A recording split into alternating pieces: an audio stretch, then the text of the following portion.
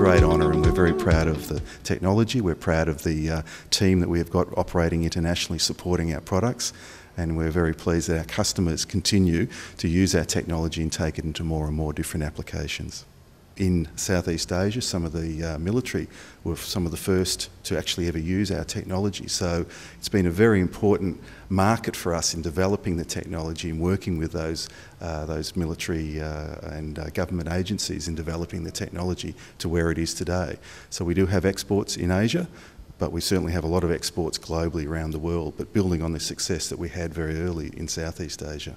We have a, now a new range of products. We're extending the fit of our solutions from very large perimeters, which we've been very successful, to much smaller perimeters. So now we can apply our fibre optic technology to perimeters much smaller than we could in the past. So that means that we can fit more of the market needs in terms of protecting sites and protecting infrastructure.